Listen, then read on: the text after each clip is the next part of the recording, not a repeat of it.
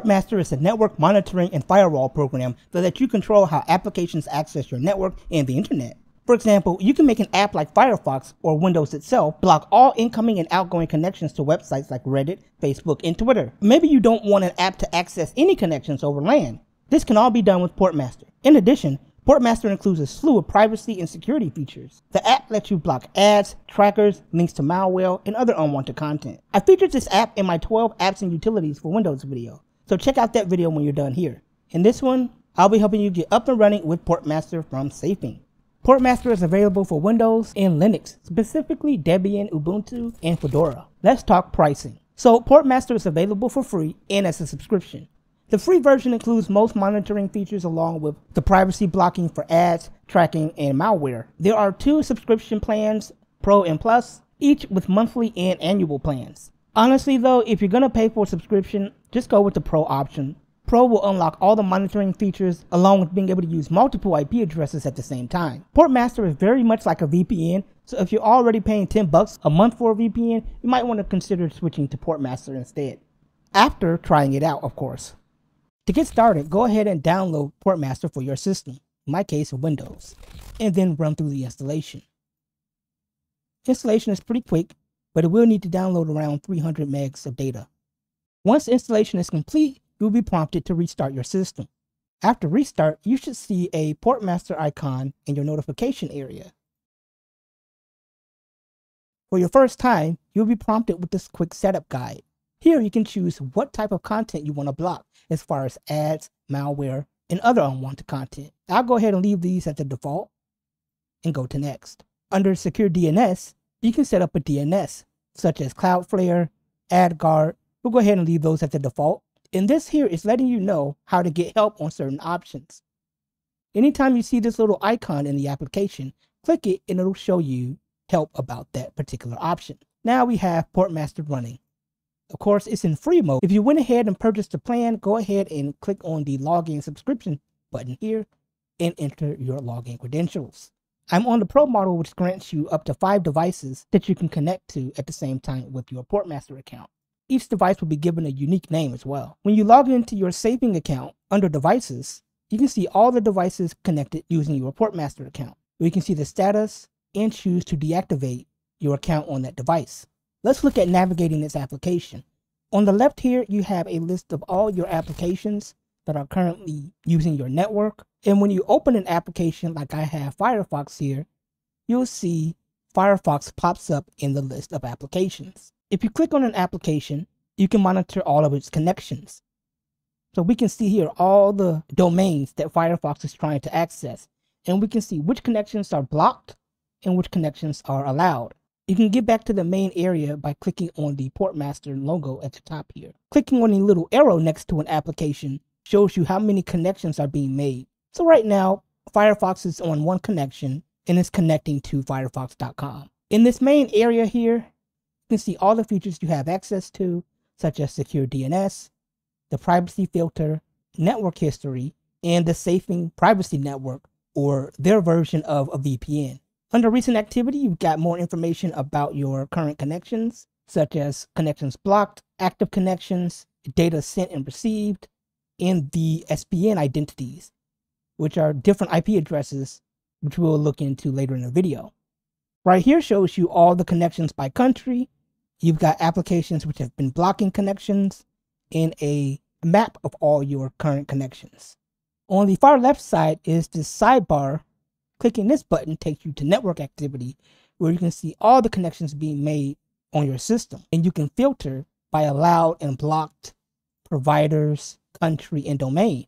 So if I wanted to see all connections made to Canada, we can see all the connections allowed and blocked for Canada. This next tab shows you all the applications Portmaster has access to or has had access to that you can go through and modify. This button with the little circle thingy is a map of the Safing SPN network, again, their version of a VPN. This next button is for your global settings. Applications can use global settings or app specific settings that override the global ones. This button down here gives you some quick shortcuts for checking for updates, reloading the interface, clearing DNS cache, and so on. And this last button at the bottom here allows you to restart Portmaster or shut it down. Let's look at monitoring in more detail. In this example, I'll be using Firefox. If I click on Firefox, we get these graphs of connections and the data that's being transferred over the network, along with a list of all the connections. If you click on a domain, you'll get more information about the connection, such as the protocol, whether it's encrypted, the IP address, and most importantly, the reason and the applied setting. Reason tells you why the connection was in the applied setting that was used to allow or block the connection. If you click on the little dots here, you can apply the app specific settings or the global settings to this domain or block the domain entirely. Let's look at this one, this telemetry mozilla.com. We can see that it has a little red icon indicating that the connection is being blocked. And here under applied settings, one of the filters that we have set is being used to block the connection. Like mentioned earlier, you can view all these connections by allowed and blocked, by provider, country, domain, and under more, you can see all connections made over LAN, internet connections, and even device local connections. Let's talk about SPN. I'm gonna go ahead and click on the little circle icon to get to the SPN map. SPN or Safing Private Network is Safing's take on a VPN. When SPN is enabled, all outgoing connections will get bounced around to multiple servers to help stop websites from identifying you. It's basically the multi-hop feature found in most traditional VPNs. If I open up Firefox and search my IP,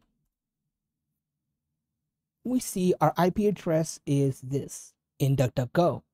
And if I go to whatismyipaddress.com, we get a different IP address. So that's the SPN in action, bouncing our connection across various Safing servers. You can choose which SPN servers applications route through. If I go to Firefox again, and under SPN exit, which is set to automatic, we can choose which servers to connect to by country. Let's say in Firefox, I want to be in Australia.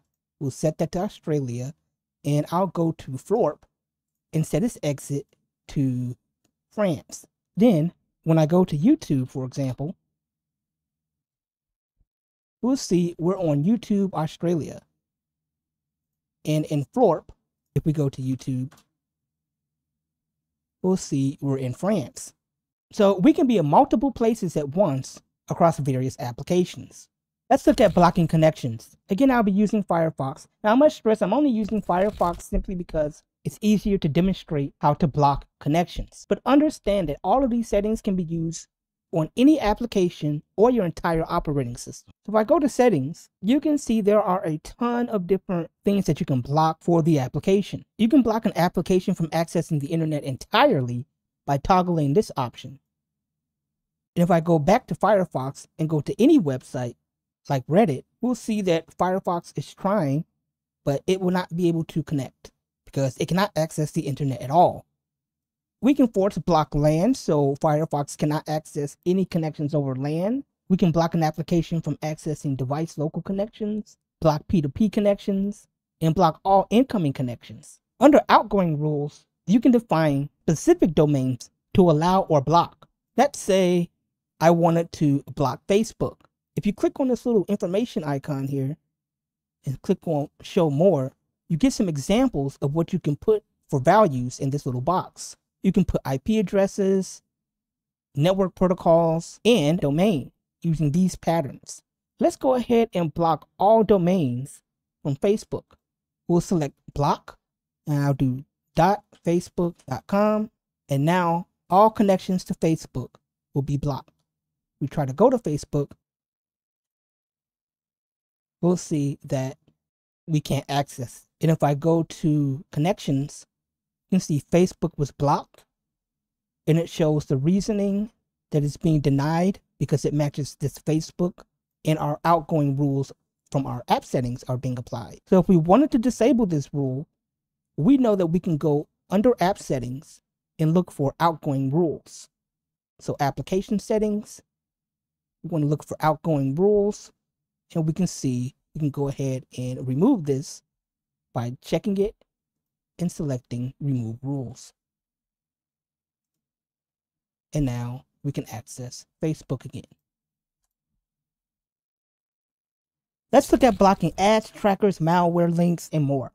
So right here, I'm in Firefox and I've got the Verge open with ads all over the place. Clicking on a link, on article, loads ads everywhere. We go back to Portmaster, and I'm going to be using the global settings for this one. Again, that's the little cog icon here. Go to global settings, and we'll go all the way down to filter lists. We've got quite a few options that we can choose from. This first one blocks ads and trackers. You can go into more granular detail on how you want to block that content. In this case, for ads, we have various different filter lists that we can choose from, or simply check all. We got malware, so any links known to contain malware will be blocked. Deception, such as phishing links, can be blocked. Mixed ads and trackers work similarly to ads and trackers. Keep in mind that enabling some of these may break certain applications. You can block inappropriate websites, big tech websites, experimental, and lastly, unbreak popular websites.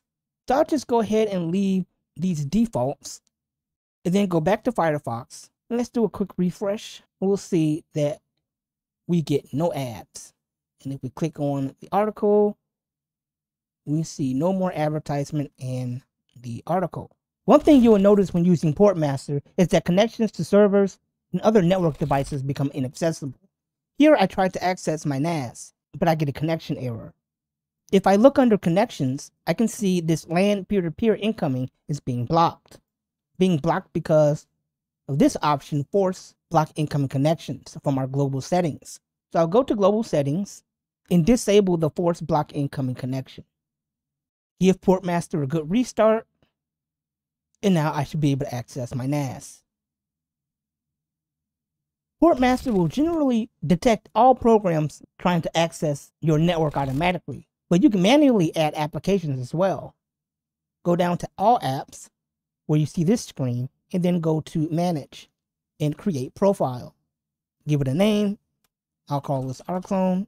Can provide an icon, and here you need to set the process in which this profile will be applied to. We have our path equal to C bin rclone. I think that's where my rclone program is. .exe. Yes, bin rclone.exe and hit save. Then I'll just search for rclone and I can manage it like I would any other application in Portmaster. Let's touch on some of the pros and cons of Portmaster. While Portmaster behaves similarly to a VPN, it does not seem to have an interface for binding to a P2P client. Also, you may find some websites and apps break with the default settings. It's a bit aggressive out of the box. The user interface can be a bit overwhelming at first, but overall, the app is pretty easy to learn and use. Portmaster pairs well with privacy-focused browsers like Mullvad and LibreWolf. The pricing is reasonable, and the free version should be adequate for many users. System-wide ad and tracking blocking alone is worth a download. And that is a quick guide on Portmaster. Check it out.